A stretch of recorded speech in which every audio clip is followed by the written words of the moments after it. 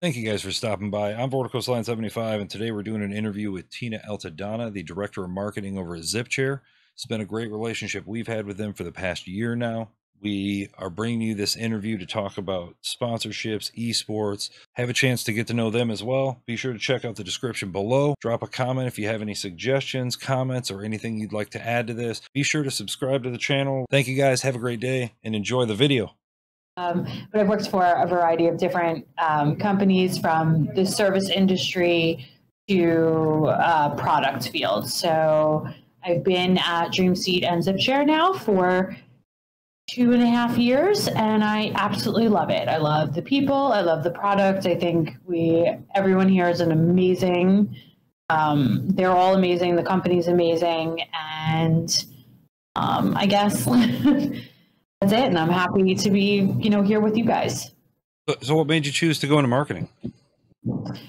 So um you know like I always had a very creative side and I was always very analytical. So I, you know, going through college like everyone else, we I think we all go through the the basic. Oh, I want to be a teacher. Oh, I want to do this, and none of that really kind of sparked it for me. So I, you know, I was always involved in the creative writing classes um, and kind of advertising, communication, and it just kind of fell into my lap. And because I was extremely analytical, uh, my first job out of college was analyzing um, call data, and it was super interesting because it wasn't a call center where it was cold calls. These were all people that belonged to an organization or used a particular service. So I was helping to create surveys. I was helping to analyze the data that came in from their responses um, and also really sparked it for me was um, getting the opportunity to help large companies launch new brands and new products and get feedback. So helping to design those surveys and then using their data to drive their activities afterwards. Wonderful. So, uh, about where you're working now, I've noticed that the branding for ZipChair products also references DreamSeat. What's the relationship between you guys? Sure. So, DreamSeat is our parent company. Um, DreamSeat is a B2B business. Um, that started it all. ZipChair was born out of DreamSeat because the DreamSeat products are seen and used throughout collegiate stadiums, professional sports in the actual stadium arena, in the locker rooms, in front offices, back offices. So typically when people are watching, you know, an interview of players in a locker room, see the Dream Seat or ZipChair products in the locker room, like the sofas, the chairs. So we started getting inquiries from consumers asking, hey, where can I get that? Even if it was just on social. So it, when somebody wants something, if we can go out and get the licensing for it and provide it to the consumer, we will. And that's how ZipChair was formed. Wonderful. Yeah, I've seen a lot on LinkedIn of some of the launches they've done and everything. Even with all this, I've seen some great things coming out of it. Yeah, yeah, it's exciting. Yep. yeah, we're in, I want to say about to all professional sports, we're in about 90% of all of their facilities in some aspect. And then in almost every major university um, in Compassion, they have something of our product. Wow. That, I didn't realize it was that much. That's good stuff. I know. yeah, I mean that moves on to the next thing. I know you guys are deeply rooted in the sports world. Uh, what prompted the transition transition into gaming? So a few years ago, the it, it actually started with regular with professional sports or traditional, I should say. They a few of the NBA teams started kind of their NBA 2K uh, leagues. So and they had asked us if uh, player you know teams that we already worked with had asked us, hey, do you have anything that we could use as a gaming chair? So uh, at the time, the racing style chairs were starting to come out, but they weren't everywhere yet. So, and a lot of people still liked that smaller task chair. So, because of the logo system that we have on the chair, we were able to embroider the logo for that particular two NBA 2K team and get the players' chairs. Did this for a few of them, and that kind of sparked the need in people and the request for the um, racing style chair, which we went out and developed. And that ended up forming our, you know, zip chair gaming and, you know, just getting us into that whole esports world. Wonderful. Uh, so, obviously, a little bit of change with things with COVID this year. So, how's that uh, changed your initiatives and priorities? Actually, it fared maybe better than we all thought for us here. And professional sports, while they all stopped playing, um, you know, fans will always be fans. But esports, um, even though I think there was a, a shift among the professional leagues to attempt to bring the fans into stadiums and, and have that kind of atmosphere, I think they were able to go back to their roots with COVID and do everything virtually. And it really worked out well for us. We were able to engage with our fans and fans of these leagues in, I guess, more traditional manner.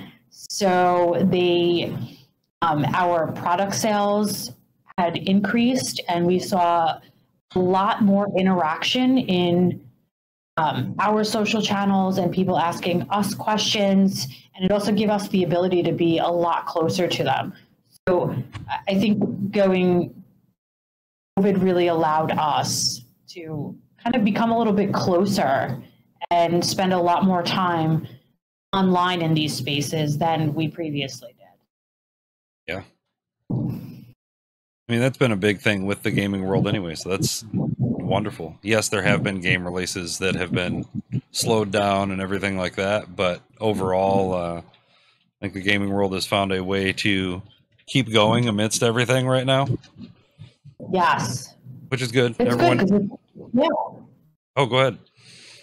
Oh, I was going to say, and in going back to kind of what they were founded on and what had made them successful, it kept their their followers, and there was really no lack. And I think they also found new followers and new viewership because people were so just what am I going to watch? You know, there was nothing, there was no sports whatsoever, and this gave them a bit of that competition. So I right. seems like the sports world maybe gains a lot more than what other people ended up losing. I think it's been a little strange too because it was about two months ago. Hollywood hasn't been producing as much either. So people are really looking for different forms of entertainment because it's been more of the same. So there's been a lot of new people coming into the industry. Yeah, that's so true. Really yeah. film anything. right.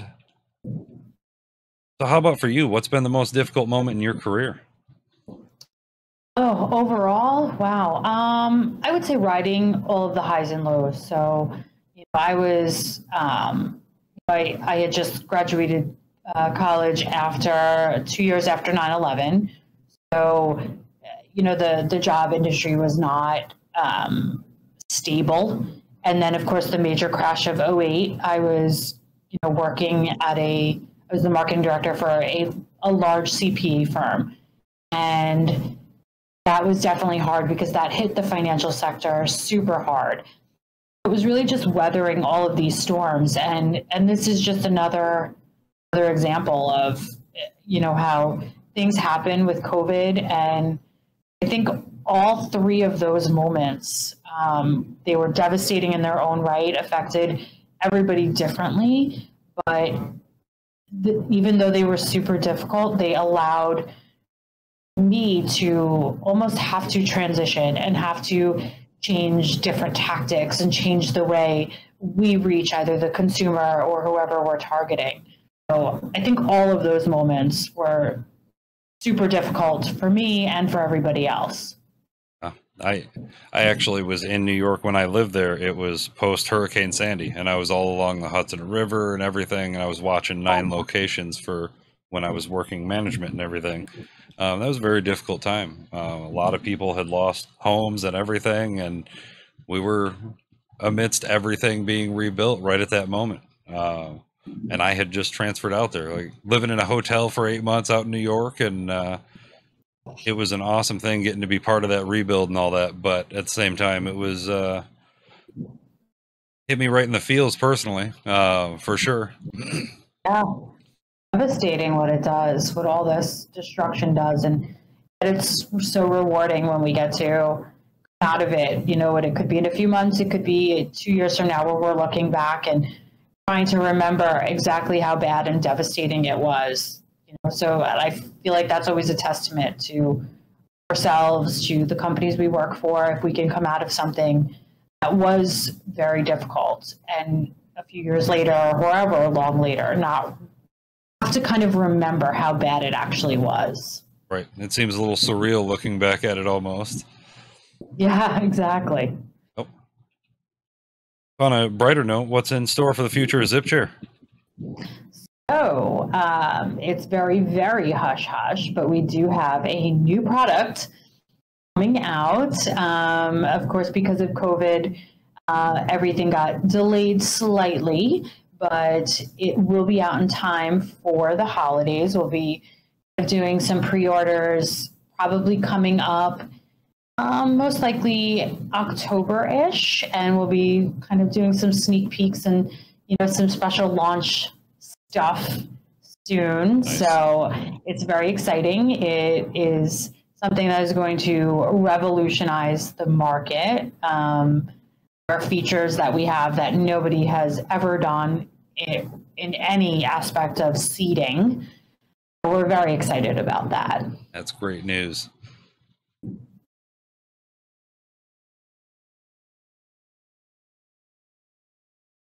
So you're currently working with Overwatch League. Previously, you worked with Call of Duty League. Are there any other plans in the works that you can share about anything related to that? Um, so we have a few um, other leagues that we, or teams, I should say, that we do work with, um, like Team Envy, uh, Team Misfits. So as of right now, um, with the, of course, the status of the industry, we don't have anything new currently in the works, um, but we are, of course, always interested in talking to teams, to leagues, um, and you know, our our logo system is, you know, I think what draws people in because they can just swap a logo in and out and change it as they need to. So that's always a benefit for us and for any league that we partner with. But uh, as of right now, those are the leagues that we're working with, and that's pretty much it for now. Fair. With you guys coming from the sports and business sectors, uh, how did this influence your your vision for the chairs being produced in the gaming industry? So a lot of what we rely on are player like impact and player input. So whether it's a physical conversation with actual professional players, collegiate players, um, even just some of our staff members who are big, you know, gamers on their recreational time. Uh, we always want people's input. We like people to take uh, chairs home when we were testing out um, the different versions of our newest product. Um, it happened to be during COVID. So we had a few of the chairs um, sent to some of our staff members' homes who sit long hours, they do game, uh, and they were able to test it out, provided a ton of feedback.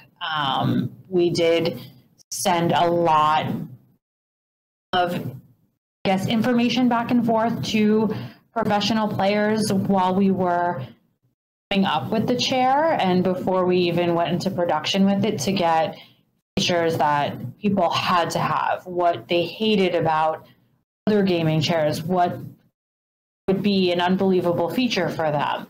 And all of that input went into making this product as well as our other chairs. Wonderful. So I can speak from uh, personal account on this. Like the reason I asked that question was really that the durability of the chairs compared to most gaming chairs I've sat in has been just phenomenal. They've lasted everything. Like that's been the biggest feature is I can tell they were built for that reason with that in mind, more so than just the sake of a sleek gaming chair just for looks and that was it. Yeah, we really try to make them all of our products last. And that's one thing um, we always say it, and I, I'm not sure people really understand what it means, but our furniture is commercial grade, which it's made first and foremost for the commercial market. We always like to say it's over designed for the consumer. So when you think about it, the all of our products were made for pretty much professional athletes to be sitting in. And uh, when you go into like an NFL film room, the chairs that are in there, there are, you know, 350 pound linemen, you know, sitting in these chairs for years and they hold up well. Um, and they're meant to last. And so when anybody buys one of our products off Zip Chair, including the gaming chair, they were over designed to last, to take that, you know, abuse. Um, you know, we always say like, you know, it's it's meant to take people's celebrations, you know, so you know, get excited, bounce around in it, and you know, it's meant for that. Right. Well, and the, and the other side of it too, the reason I said business sector is like you have GM and some others as well. So it's really chairs that are being used a lot. Yes. And if, if it's good enough for, you know, professional athletes, um, they're made to last. Like we don't, nobody wants to, whether you're a business or whether you're an individual, you don't want to be buying an office chair or a conference table over and over and over again. You might as well have spent a little bit more money and gotten something that can last, you know, 5, 10, 15 years. Right. So we know a lot of brand sponsors, entities, uh, all in the gaming world are heavily in the weeds with the community. What are you guys doing to immerse yourselves completely in the industry? So we, because we are, um, we try and stick with a small group of sponsors and groups that we do partner with, like um, your group, it gives us the ability by not spreading us too thin and being able to be a little bit more hyper focused. We're able to figure out exactly what the needs of that community and those fans are and target exactly that and work with you guys to get our message as well as effectively communicate your message. Um, we have been getting a lot more active in certain channels of our sponsors, uh, the people we sponsor, to kind of interact more with their fans and really just ask honest questions and see what they're looking for, what they like, and just kind of communicate with them. And not, you know, we're not always out there to be selling. We're, you know, we want to really know what they think and we want to interact with them and watch what they're watching and talk about their players and you know, if it's one of our Call of Duty teams or say the um, one of the, our Florida team, um, you know, we're able to interact with the fans and discuss exactly what's going on in the game and what the players are doing, as well as you know just general gaming stuff. So that that's really what we try to do. We we really want to be focused with what the consumer is interested in and, and we're fans. So in in the end you know we're fans of regular sports. We're fans of uh, all different types of video games. Everybody in my office has a different strength has a different um, love of a different game. So it all works out well. Wonderful. Oh, and that, that's really where that was spawned from. So, I mean, the moments in gaming that I can really speak to as well is we were playing Resident Evil 2. The voice actor for Claire shows up in channel and just chills with us for hours. Like those moments make a world of difference just in it. And it's not just about selling it, it's showing truly passion behind what you're doing and everything of that sort. So yeah. That's phenomenal. Yeah, my our uh, creative director Tyler, he all the time he pops in. You know, he loves just hanging out with people and and talking and whether it's under his personal account or whether it is under you know our corporate account. He just likes to be involved, and sometimes you know he's in an entire chat for hours and you know watching someone stream. Never even mentions the chair once. Just there to be a part of the community. Wonderful.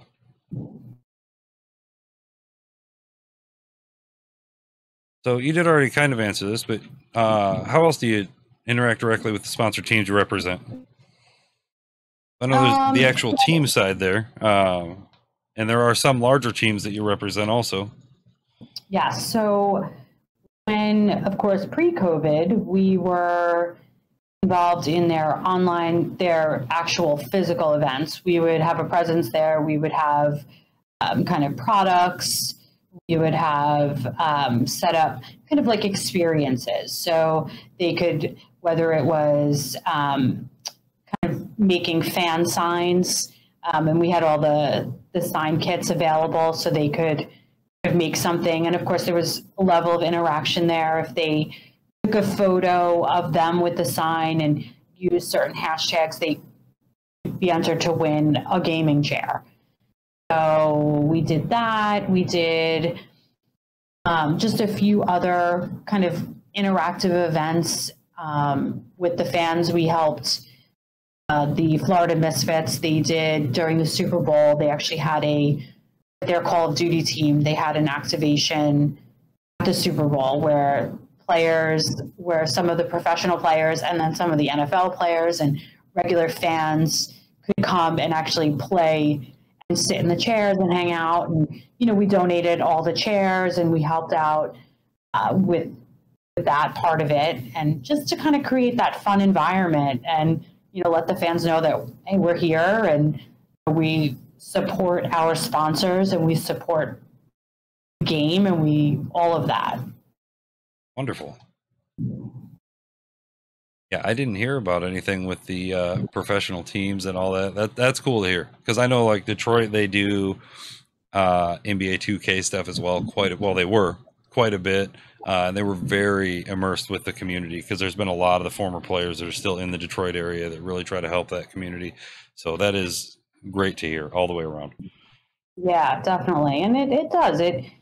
I think it brings when they have it within their own community and they are able to have events um, more so when the events are free for the community to come and participate.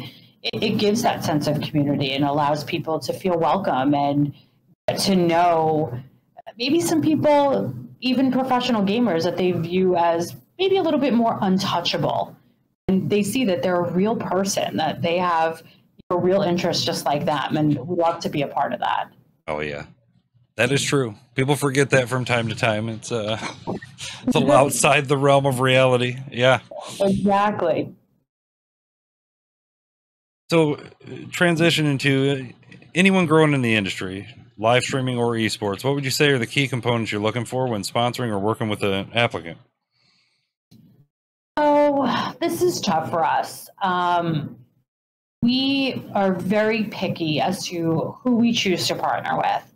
Um, our biggest goal is that it has to be meaningful for the both of us. So, as us being us sponsoring someone and need to have mutual interest. I it can't be one sided stats, you know, uh, stream, you know, volume, uh, followers, all of that, while it's super important, somebody's reach, it's also somebody's engagement that matters a lot to us. I want to focus on people that are have a, a large community of followers that are engaged with them and that trust what they have to say. And of course, nowadays with um, just who we all have to be careful who we partner with. I need to make sure, you know, the team or the streamer or the um, any the influencer is in you know abides by of what we feel uh, represents you know, the world and and isn't controversial. Just like they need to make sure that we're the same. So with with all of that going on, uh, you know, the last thing you want to do is be caught up in any type of controversy. Um, for who you select to partner with. So we are very selective. But I we do love working with people, even if it's just on a one-off thing where we're maybe helping somebody to get started, or we're providing them with a product or a bunch of different um, maybe some marketing assets. And we like to make sure things are organic. I don't to force people to see something because then it's not truthful and it's not honest. And their fans always know when something comes directly from them versus it being something that was scripted. So we really don't want our influencers or anyone we partner with to say something that's not uniquely them because everyone has their own way of phrasing things. Yeah. And, and a lot of that came from not only for people that are coming up that are looking for these kind of things that want answers to this from the other side of it, but also from the sake of there's a lot going on in the industry right now with Mixer shutting down. Discord just mm-hmm. announced they're pulling partnerships from people that don't have the engagement. That just came out yesterday, two days ago. Um, and then the dark side of it, of all of the sexual harassment and sexual assault issues in the industry. I mean, it, it's been hit pretty crazy. And I think a lot more people that are just in the industry that are a little, I, I guess, younger really weren't expecting these things to happen. Whereas I approached it, I said, this happened in Hollywood. This happened in like these these things happened in retail when a bunch of women started joining the market in the 80s, 90s when women really joined the workforce. And we saw all these things come to light in every industry. And it's now just hitting where there's normalization of the business side of streaming and gaming and everything like that. So now it's all coming to light. Right. So, yeah. no, and, and both sides, that's why I said both sides have to protect each other. You know, you, we each have our own brand that we need to protect, and everybody's values need to completely align and we need to be cognizant of all of our actions. Right. I, I just feel mm. for all these businesses because they, I, I, feel like everyone has to do an excessive amount of homework now on anyone that they choose to work with because there's a lot that can come with it. That's for sure. That's for sure. It's true. But you know what? It's worth it because when you find the right partner, I mean, who would have thought that what it's been almost a year now that we've been working with you guys and who would have thought that, you know, from a, a simple, know, application that it would have branched into this type of relationship. And, you know, we love working with you guys and we've gotten great feedback. So, you know, when, when things like this come to fruition, it makes all of that work that we put in, both sides, worth it. Right. And, and that's what I mean. This has been fun on this side of it because we get to push the needle doing things a little differently with you guys as well. And, bring something a little from the other side of the fence because uh, I know a lot of it is just viewed on that esports side, and we kind of live on the other side of the fence as well. So, yeah. So, I, I guess we already answered the next question as well. Uh, oh. So when you are looking at applications for sponsorship, what's that one thing that bumps someone up that you're saying, okay, we're really going to look at this person? I think their willingness to one, the fact that they if they researched kind of who we are and what we've done, if they can make reference to that, that always goes a long way. Um, and two, their ability to think outside the box. Most people will just write something super generic about, hey, I have this many followers and I, you know, can do this kind of post. If somebody goes the extra mile and actually puts in some thought over what they're willing to do for to partner with us, that definitely makes anybody stand out more. And that's fair. Like a job interview, you know, yeah. the person that puts their photo on their, you know, on their resume or, you know, comes in with a some sort of whether it's a sales plan or whether it's a marketing plan you know those are always the people that impress you the most. Right. So you're saying it's because i sprayed the application with perfume then that it right. 100% right. Oh man. So uh this is probably my favorite question to ask right here is uh tell me about the one that got away. So that moment that you were really seeking someone out to sponsor that kind of thing, and they either left for another company, you guys sat on it too long, whatever the case may be, that one that got away. Hmm. So I don't know if it actually has to do with sponsorship, but um, the it's more of a, a a product licensing thing that I'll say is the one that got away, and um, that's the NFL. We have been actively seeking the NFL license for quite some time.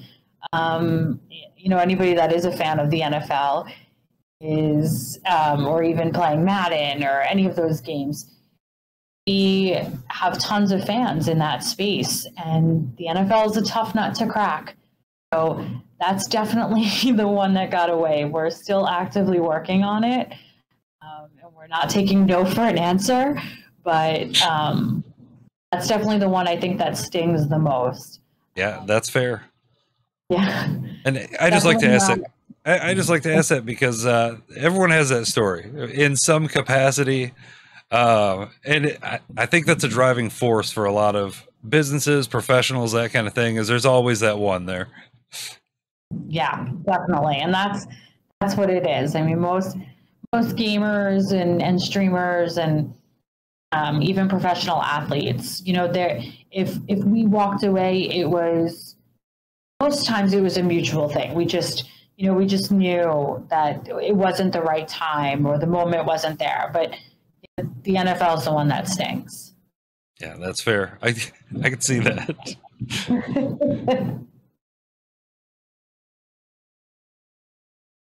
so on to the more personal side of it here on the site. You guys have favorite quote for everyone that's on there. Yours is many of life's failures are people who did not realize how close they were to success when they gave up. From Thomas Edison. What was the defining moment in your career or life that made this quote resonate with you? I think it's everything. So as a as a creative writer, um, you know, I've stopped and started so many different between uh, you know poems, stories, um, you know novels, over and over and over again. And when I was in college, um, there was a poem that I was writing for one of my uh, more advanced creative writing classes, and I happened to just stop. I, I was done. I was finished editing it. I couldn't figure out where I needed to go with this. It just wasn't working for me. And I just kind of like tucked it in the back of one of my books. And I had a meeting with one of my professors, and it just happened to, as I was fumbling through looking for stuff, it just happened to come out. And he was like, What's that one? And I was like, Ah, it's just, it's not working. And he read it and he loved it. I, he submitted it to one, one of the publications at my university and it was published as is. No edits, no changes. Everybody loved it. It actually won um, a, a, small kind of not award, but like a, a little acknowledgement. Um, it because of that, I was invited to do a few readings for some of groups on campus for some of the um, smaller, like kind of 101 type classes where the students had to reflect and write back on all of the people that spoke, kind of read that night. And I'll never forget the next day, my professor told me that, or two days later, um, that all of the people in his class, the number one person that they commented on was me and my writing, and was that particular poem. And it was the poem that I gave up on. So I think it resonates perfectly because, you know, I was giving up on that and I deemed that as a failure. And it turned out not to be. And if I that moment wouldn't have happened, I would have never experienced it. Wow. yeah, that's a good moment right there.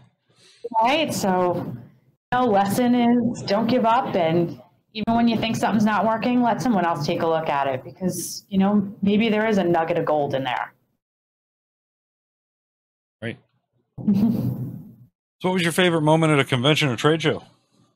Oh, God, so I have done so many of these for years and years, and um, now having done, God, I was doing probably about twenty a year from start to finish by myself for about ten years. So it, it takes a lot of lot out on you. Um, but one of my favorite moments, um, and it really spreads across anyone I go to, has to do with kind of the tchotchkes and the giveaways. Um, people are hysterical with them. And if I never see another tchotchke again in my life at a trade show, I'm one of those people that I'll never take one. I walk right past. I don't care how cool it is. I just can't. but people are hysterical. I mean, I've heard everything from you know, oh, I collect pens, and that's why they need to take 30 of them. Um, you know, or oh, my grand my grandkid loves bags and wants to take you know 15 plastic bags. Like your grandkid doesn't love pens. You don't order bags. You don't collect pens. You you're just a hoarder. It's okay. Just admit it. Like I'm cool right. with it. Just, just be honest. So I think that's the best part of conventions is you know watching people meet, of course, meeting people, but hearing what everybody wants to say so they could have just one more of the free pen. right. Oh, man. So here you go waffles or pancakes, and why? So, waffles, but only for dessert and with chocolate ice cream. And pancakes, but only for dinner and with tons of butter on them. Okay, that's fair. The IRE that waffles are perfect because you can put Nutella in all of the pockets and then put syrup on it as well and powdered sugar. oh, see, but that's what I like about the chocolate ice cream being on it because it you can actually, if you let the ice cream sit out for just a little bit so it gets soft, you can spread it get it in all the nooks on the waffle, and then you can like layer the waffles, and then you can eat it like a sandwich. Okay, that sounds amazing. So an extra large, uh, like ice cream cookie, basically sandwich. Exactly. That's amazing. Hmm. I've never done that. And now you're going to try it tonight. Probably. all right. So, what's your mm-hmm. favorite game of all time? all right, so I am one of those as time went on, um, games kind of got a little bit too complicated for me. And I found that I need to stick with what I'm good at. And that is Super Mario Brothers 2 as the princess. Okay. So you say two I I didn't know at all. I wasn't expecting that answer. I played 2 the day it came out. Like I have a huge family memory of playing Mario 2. We played start to finish all the way through. That was like one amazing moment in my childhood with my uncle, with my father. Like family was all there and we played it the day it came out. Um, love it. Yep. Love it, love it. And everybody I say that to can't because like, I find most people can't stand that game. I just I'm like, well, are you crazy? It's amazing. Yeah, it it was so well done for its time and everything, and it was completely different than all the others. Yes. Now, don't get me wrong, I loved Mario Three as well, but mm-hmm. for sure. And yes, games have gotten very complex now. Uh, I have. I remember. I mean, I used to play Bond all the time, and I don't even remember what year it was, but it came out, and I I, I couldn't like I, I couldn't get the gun. like I'm like I don't know what I'm doing here. I was I was that's when I realized, okay, all right, this has definitely passed you by. stay, stay, stay in 64 bit. You're good there. Right. Uh, no, I actually have a lot of friends and everything that just do retro games. There's a huge like it, people still love it. It's always there. Oh. Um, I actually just got connectors and everything so I can hook up for streaming for retro games and everything because I absolutely have a passion for it. Um, but yeah, yeah it's so I kind of realized how complex games got when someone uh, gifted me the game Elite Dangerous, uh, and don't ever go near that game. I, I won't. it, it's a space game that basically is a full-on real sim of flying a spacecraft that has 55 base command buttons that you can use right out of the start. Well, It took me two hours to land a spaceship. I, I could see that. Me and my husband played um, a few years ago when I think it probably was like 2008, 2009, um, when it was called Super Mario Paper. Oh, Paper out. Mario. Yeah. Oh, Paper Mario, yes. Let me tell you, I'm embarrassed to say it. He played. I had the book I had the computer because we could not figure out how to do anything. And I mean, you know, reading everything, I'm walking him through level by level, looking up cheats, looking up just how to do anything. We finished the game, but it took us probably two and a half months. Oh, wow. So I don't know if you've seen it, but there is uh, Mario Maker 2 just came out for the Switch. Uh, what was it, six months ago, probably? Okay. And that is essentially a player made set of levels. Like it has its own levels for it, but you can also create your own levels as well in the tune of like Mario 1, 2, 3 styling. So you can go through the Ah. levels that are created by players. That's cool. So it's more of like an infinite level type of a Mario game. Uh, so it, it's fun. Some of the g- levels are literally like you have to jump on a turtle shell over and over throughout the whole level, and there's no ground at all. Uh, so people make them a little crazy, but That's like um, my husband teaches STEM. So one of the things that you know he he introduces to his kids is called Bloxels, and we have more fun than I think the kids do with it because you're basically building your own video game. yep, that was the one that you had mentioned to me in the past as well for my daughter. Yes, yes. Yes, it's awesome. I mean, we we just keep building. I mean, we're never done building a game because we're constantly working on the background and on you know our characters, making them better and giving them powers and different colors and all of that. But it's super fun. Yeah, that's phenomenal. Uh, and actually, when you told me about that, I was playing a game called Screeps, which is basically teaching people basic coding as well. Like, it's actually, I I mean, it's very pixelated and everything, but it's just basic coding to allow it to do anything. So you have to code into it the code to get it to work. So, yeah, So important now. So important now. yep. What games are you playing currently? Um, I'm a big mobile player right now. Um, so I love uh, Family Guy Quest for Things. I love basic card games, like solitaire. You play that? Yeah, yep. it's so silly, but I love it. I can't stop. Um, I like. I love solitaire. Um, I play God the Gardenscapes game. Anything where I'm, I feel like I'm making puzzles. Um, I wish they would come out with Roller Coaster Tycoon for mobile, but because that is I am amazing at that game. And I had the original of that on PC. Me too. Loved it. Loved I've it. found myself for mobile doing just like word games and like enhanced memory games and stuff like that. Me too. So it's super easy. Wonderful.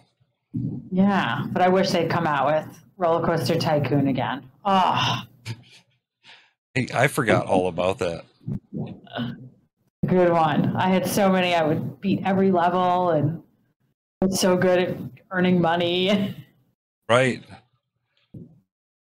I mean, I, I live close enough to Cedar Point. Like, I, I grew up on the huge roller coaster places here and absolutely love it. I don't know if you've been to Cedar Point or not.